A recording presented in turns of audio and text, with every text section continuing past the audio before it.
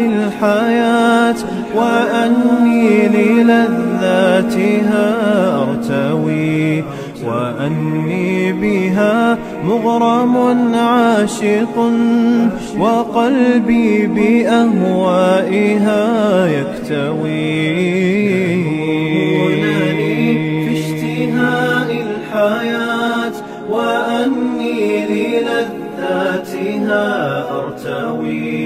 وأني بها مغرم عاشق وقلبي يلومونني في اشتهاء الحياة وأني للذاتها أرتوي وأني بها مغرم عاشق وقلبي بأهوائها يكتوي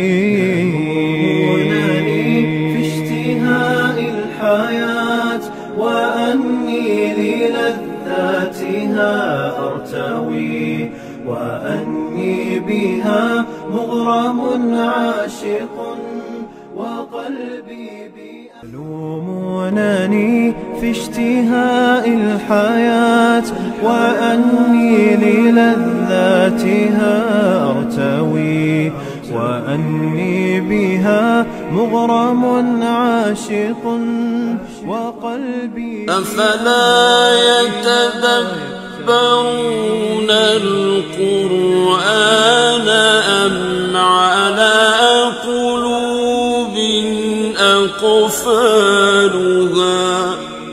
وأني بها مغرم عاشق وقلبي بها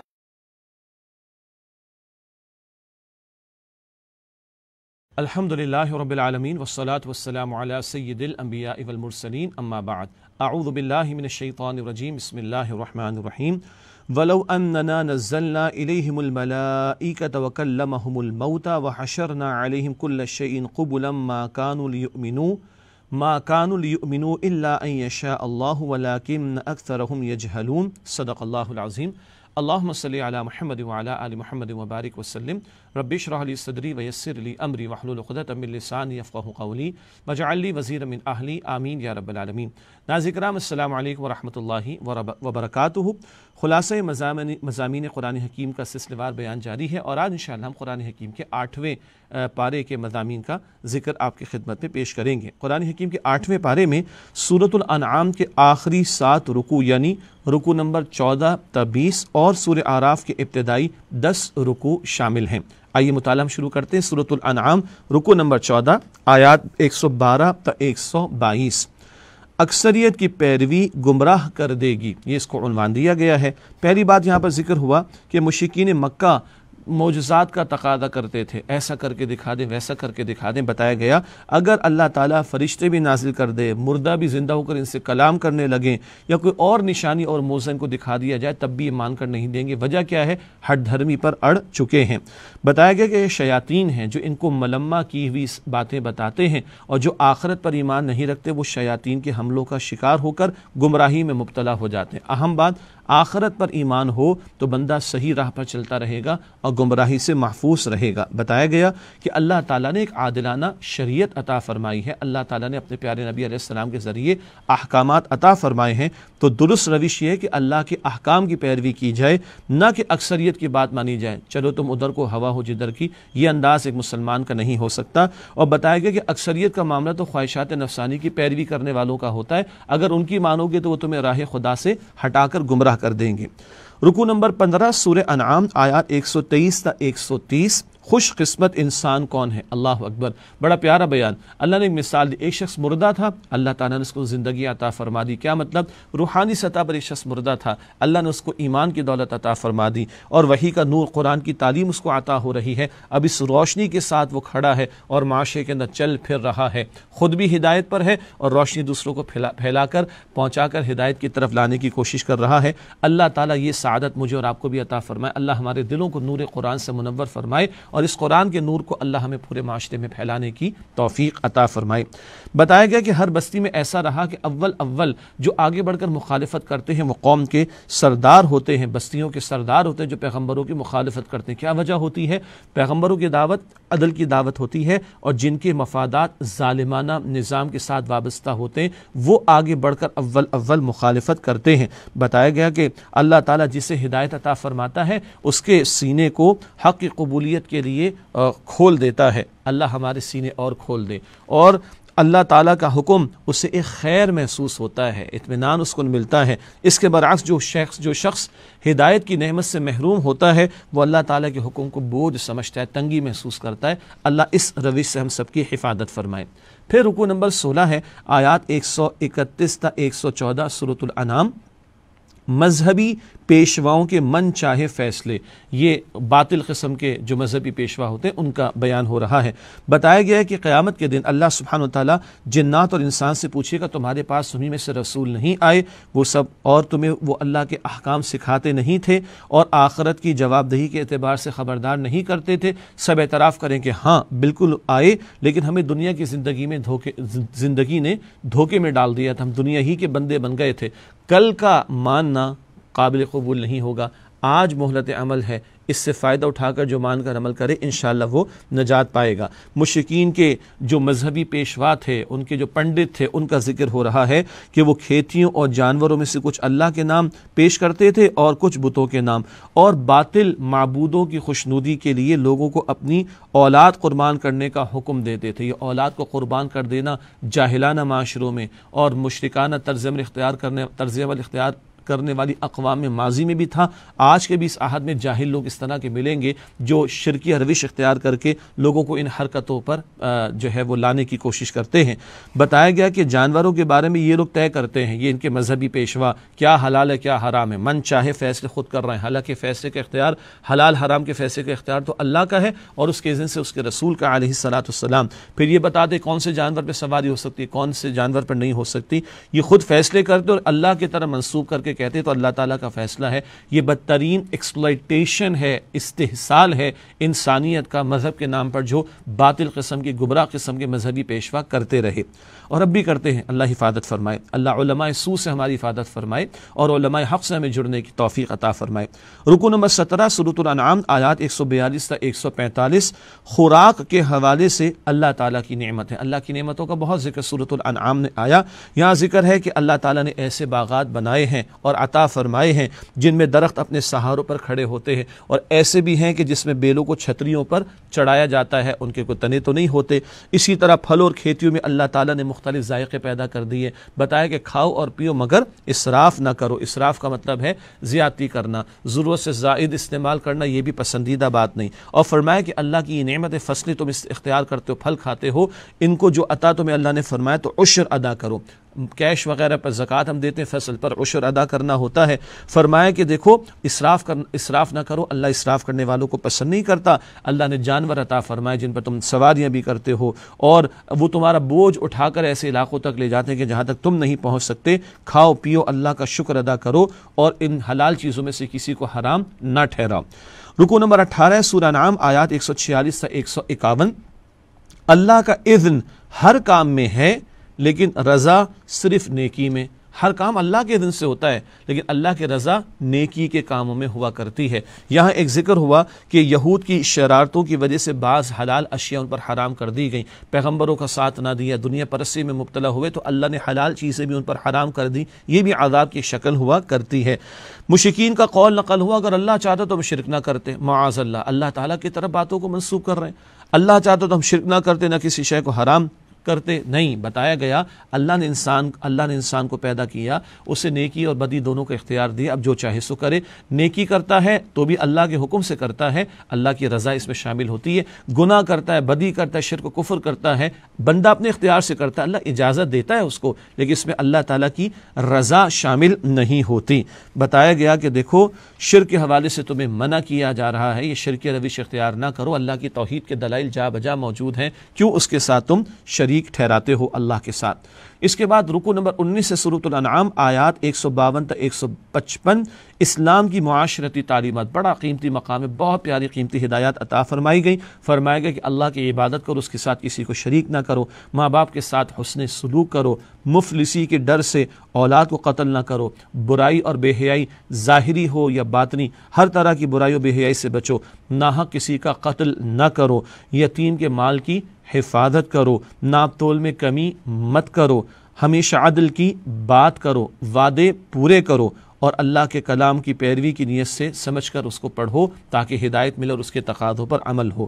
یہ ہے اللہ تعالیٰ نے جو قیمتی ہدایات معاشرت کے حوالے سے عطا فرمائی، قرآن حکیم پر عمل کرنے کا حکم دیا گیا اور اس کے سوا کسی اور راہ کو اختیار کرنے سے روکا گیا۔ اللہ تعالیٰ ہمیں ان ہدایات پر عمل کی توفیق عطا فرمائے۔ یہ بہت قیمتی معاشرتی ہدایات تورات میں بھی تھیں، قرآن حکیم نے بھی عطا فرمائی ہیں۔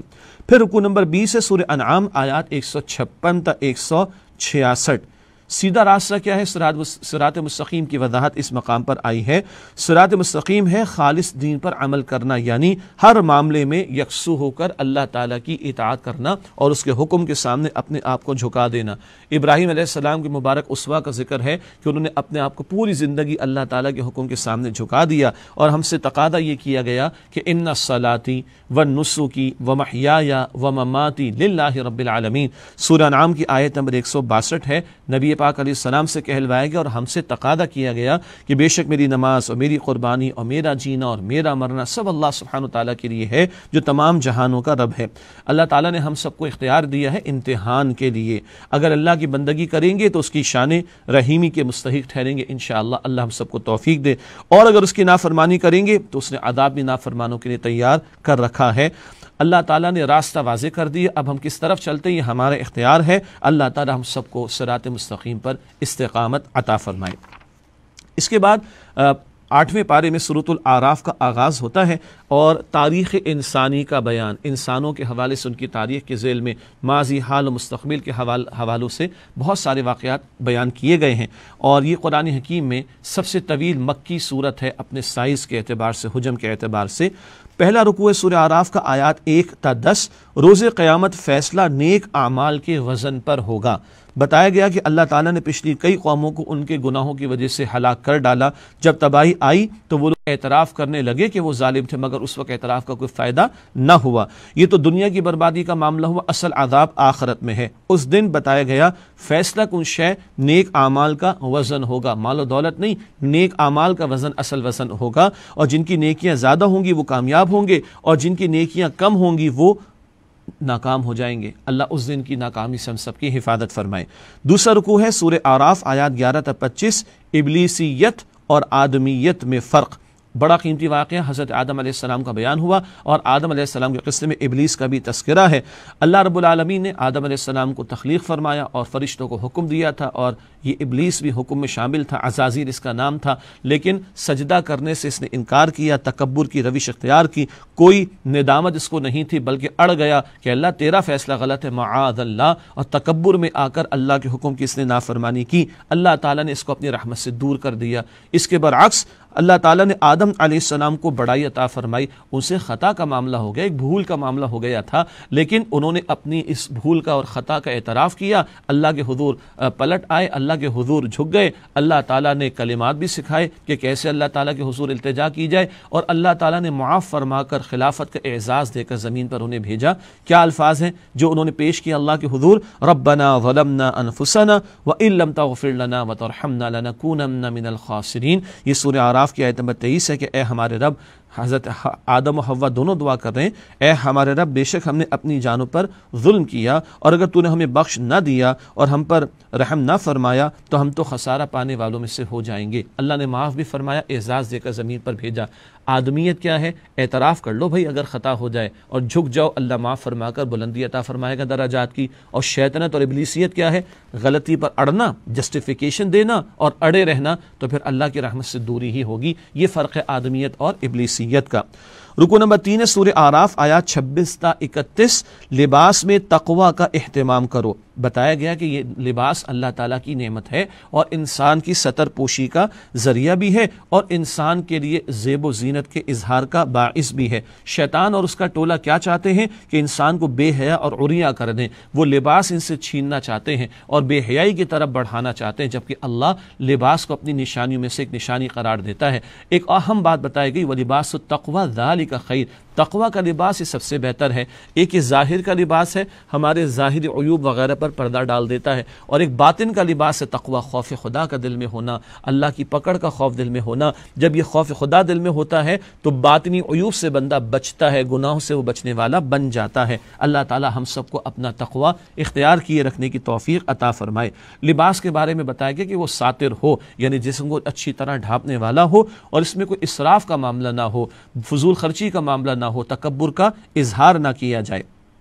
اس کے بعد رکو نمبر چار سور آراف آیات بتیس تا انتالیس غیر تربیت یافتہ اولاد کی ماں باپ کے خلاف بد دعا بڑا ایک برا معاملہ ہے، بڑا ایک المناک انجام ہوگا آخرت میں۔ یہ ماں باپ اور اولاد کے تعلق سے بھی ہے اور یہ بڑے اور چھوٹے لیڈرز اور ان کے فالوورز کے تعلق سے بھی ہے جو اس مقام پر بات آئی ہے۔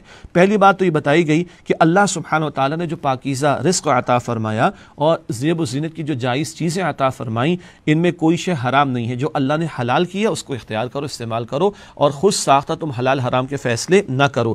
بتایا گیا کہ ان چیزوں کو حلال طریقے سے اختیار کیا جائے، حاصل کیا جائے اور شریعت کے حکم کے مطابق ان کو استعمال میں لایا جائے۔ اللہ کی نعمتیں بندوں کی جس نے پیدا کی، فائدہ اٹھاؤ۔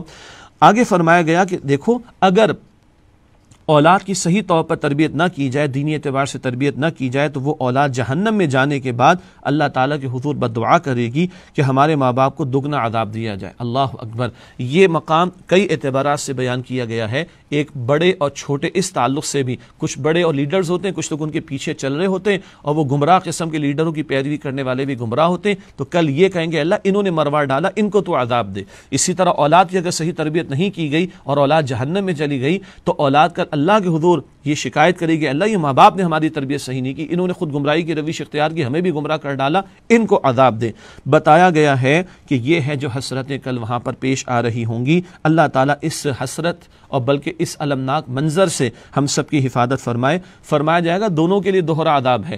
بڑوں کے لیے بھی کہ گمراہ ہوئے اور چھوٹوں کے لیے بھی۔ بڑوں کے لیے کہ گمراہ ہوئے چھوٹوں کو گمراہ کیا۔ اور چھوٹوں کے لیے کیا؟ خود بھی حق کو قبول نہ کیا اور دوسروں کے پیچھے اندھے بن کر چلتے رہے۔ دوہرا عذاب دونوں کو دیا جائے گا، چاہے وہ گمراہ ماں باپ یا گمراہ اولاد ہو یا گمراہ لیڈر اور ان کے فالوورز ہوں۔ اللہ تعالیٰ اس گمراہی سے بچائے اور جہنم کی آگ سے ہم سب کی حفاظت فرمائے۔ رکو نمبر پانچ، سورہ آراف آیا چالیس تا سینتالیس۔ جنت تمہارے اعمال کا بدلہ ہے۔ اللہ اکبر کبیرہ۔ یہ بڑا عجیب ٹائٹل آپ محسوس کر رہے ہیں۔ ہاں اللہ کی شان کریمی ہے، وہ چاہے تو کہہ سکتا ہے۔ ابھی سمجھتے ہیں اس کو۔ اول یہاں پر ذکر ہوا، جو لوگ تکبر کی وجہ سے اللہ تعالیٰ کی تعلیمات کو جھٹلاتے ہیں، وہ جنت میں داخل نہیں ہو سکیں گے۔ مراد کیا ہے؟ تکبر جہنم میں لے جانے والی شے ہے۔ اور اس بات کا تکبر کہ ہمیں کسی شے کی ضرورت نہیں، ہم سیلف سفیشینٹ ہیں، یہ تکبر اللہ کو پسند نہیں۔ اور حدیث میں تو ہے کہ رائی کے دانے کے برابر بھی تکبر ہوگا، تو بندہ جنت میں داخل نہیں ہو سکے گا۔ اس کے برعکس ایمان لا کر نیک عمل کرنے والے اللہ کی رحمت سے جنت پہنچیں گے تو اللہ سبحانہ و تعالیٰ کے یہ بندے زبان سے کہیں گے الحمد للہ حدانہ لہٰذا تمام شکر، تمام تعریف اللہ کے لیے جس نے یہاں تک جنت پہنچنے کی ہدایت ہمیں عطا فرما دی۔ وما کمنا لنہ تدی لولا ان حدان اللہ اور ہم ہرگز ہدایت پانے والے نہ ہوتے اگر اللہ سبحانہ و تعالیٰ ہی نے ہمیں ہدایت نہ دی ہوتی۔ یہ ہے سورہ آراف میں جو ذکر آیا آیت نمبر 43 میں۔ یہ تو جنت والے کہیں گے، ان کی آجزی کا بیان مالک تیری تیری تیرے فضل سے پہنچے ہیں اور تیرا ہی شکر ادا کرتے ہیں۔ لیکن اللہ کی شان کریم سبحان اللہ اللہ فرمائے کہ جاؤ، تمہارے اعمال کے بدلے تمہیں جنت عطا فرما دی۔ یہ تو اللہ کی شان کریمی ہے۔ بندے کی آجزی اور بندگی کا تقاضا اللہ تیرا فضل۔ اللہ کی شان کریمی، جا تیرے اعمال پر تجھے جنت عطا فرمائی۔ اللہ چاہے تو کہہ سکتا ہے، اللہم انا نسألک جنت الفردوس، اے اللہ، ہم تو جس سے جنت الفردوس کا سوال کرتے ہیں۔ اسی مقام پر اصحاب اعراف کا بیان بھی، جن کی نسبت سے صورت کا نام صورت العراف ہے، ایک رائے کہ یہ وہ لوگ ہوں گے جن کی نیکیاں برائیاں برابر ہوں گی، نہ یہ جنت میں ہوں گے، نہ جہنم میں۔ بالآخر وہ جنت میں داخل کیے جائیں گے، اس بات کی امید رکھتے ہوں گے۔ تو یہ اصحاب اعراف کا ذکر بھی اس مقام پر آیا ہے۔ رکو نمبر چھ ہے، سورہ آراف آیات اڑتالیس تا ترپن، آخرت کی تیاری سے غافل نہ ہو جاؤ۔ اصحاب آراف کا ذکر آیا، ان کی دعا وہ کریں گے، اللہ جنت عطا فرما دے، ان کی دعا قبول کی جائے گی اور بالآخر وہ جنت میں داخل کیے جائیں گے۔ اللہ ہم سب کو اول اول مرحلے میں جنت الفردوس عطا فرمائے۔ ذکر ہے ان لوگوں کا کہ جن کی مذمت کی گئی جنہوں نے کھیل تماشے کو دین بنا لیا۔ ایک تو ہے کہ دین کے معاملات کو کھیل تماشا بنانا ایک رائے ہے اور ایک رائے کھیل تماشے میں ایسے پڑ گئے جیسے کہ دین چوبیس گھنٹے اس کی پیروی کرنی چاہیے۔ تو جنہوں نے دین کو کھیل تماشا بنا لیا کھیل تماشے کو دین بنا لیا، ان کی مذمت کی گئی ہے۔ یہ وہ لوگ تھے کہ جنہوں نے آخرت کے بارے میں کبھی سنجیدہ ہو کر فکر ہی نہیں کی کہ اس کی تیاری کریں۔ ہم سوچیں کہ آخرت کے بارے میں سنجیدہ ہیں یا نہیں۔ کل اپنے برے انجام کو دیکھیں گے، یہ لوگ قیامت کے دن تو حسرت کریں گے، لیکن اب حسرت کا یا افسوس کا کوئی فائدہ نہیں ہوگا۔ رکو نمبر سات، آیات چون تا اٹھاون سورت العراف دعا کے آداب، بڑے پیارے آداب اس مقام پر دعا کے حوالے سے بتائے گئے۔ اللہ تعالیٰ سے دعا کی جائے، تنہائی میں کی جائے، گڑ گڑا کر کی جائے، اللہ سے امید رکھتے ہوئے دعا کی جائے۔ اللہ کی پکڑ کا خوف بھی رکھتے ہوئے دعا کی جائے۔ دعا میں زیادتی نہ کی جائے، چلا چلا کر دعا نہ ہو، توجہ سے ہو۔ اور ایسی دعا نہ کی جائے کہ جس سے کسی کا نقصان ہو، کسی کی برائی بندہ چاہ رہا ہو۔ اللہ تعالیٰ سے بھلائی کا سوال کیا جائے۔ زمین میں فساد نہ مچایا جائے۔ گناہوں کی وجہ سے دعا قبول نہیں ہوتی۔ اگر ہم اللہ کے احکامات پر عمل نہیں کریں گے تو دعا کیسے قبول ہوگی؟ اس کے بعد رکو نمبر آٹھ، آیات انسٹھ تا چونسٹھ، یہاں سے پیغمبروں کے واقعات شروع ہو رہے ہیں۔ اس رکو رکوع میں، قوم نوح کی روش اور انجام کا بیان۔ نوح علیہ السلام نے قوم کو ایک اللہ کی عبادت کی دعوت دی، قوم کے سرداروں نے ان کی دعوت کو جھٹلایا۔ اور معاد اللہ الزام تراشی کی نوح علیہ السلام پر اللہ تعالیٰ نے نوح علیہ السلام اور اہل ایمان کو بچایا اور نافرمان قوم کو طوفان کے ذریعے ہلاک کیا۔ رکو نمبر نو، آیات پینسٹھ تا بہتر۔ قوم ہود کی بربادی، ہود علیہ السلام نے اپنی قوم کو دعوت دی اور سرداران قریش نے ان کی دعوت توحید کو جھٹلایا اور معاذ اللہ ان کو برا کہا۔ استغفر اللہ احمق و نہ جانے کیا کچھ کہا معاذ اللہ؟ اللہ نے ان بد نصیبوں کو برباد کیا اور اپنی رحمت سے ہود علیہ السلام اور اہل ایمان کو بچا لیا۔ آٹھویں رکو کا آخری رکو ہے رکو نمبر دس، سورہ آراف آیا تہتر تا چوراسی، قوم صالح اور قوم لوت کا انجام۔ دو قوموں کا ذکر ہے۔ ان دونوں قوموں کے ساتھ ان رسولوں کی کشاکش کا معاملہ بیان ہوا۔ صالح علیہ السلام نے اپنی قوم کو اللہ کی بندگی کی دعوت دی اور نشانی کے طور پر، موزے کے طور پر ایک زندہ اونٹنی پہاڑ سے برآمد کر دی گئی اور ایک نشانی ان کے سامنے پیش کی گئی۔ لوگوں نے اور قوم کے سرداروں نے خاص طور پر تکبر کرتے ہوئے ان تعلیمات کو جھٹلایا اور اہل ایمان کو بھی نیکی کے راستے سے روکا اور جو موزے کے طور پر اونٹنی عطا کی گئی جس کو قتل کر ڈالا اللہ تعالیٰ نے زلزلہ برپا کر دیا، اس قوم کو برباد کر دیا۔ لوت علیہ السلام نے اپنے قوم کو اللہ کی توحید کی دعوت بھی دی اور ان کی گندگی کا عمل تھا، اس قوم کا، ہم جنس پرستی کا۔ اس سے ان کو روکنے کی کوشش کی اور قوم نے معاد اللہ لوت علیہ السلام کو بستی سے نکالنے کا ناپاک ارادہ کیا۔ اللہ تعالیٰ نے پتھروں کی بارش کے ذریعے اس بے حیا قوم کو تباہ و برباد کر دیا۔ اللہ تعالی ہم سب کو قرآن حکیم سے ہدایت نصیب فرمائے، اس کے احکام پر عمل کی توفیق عطا فرمائے۔ و آخر دعوانا الحمد للہ رب العالمین السلام علیکم ورحمۃ اللہ وبرکاتہ۔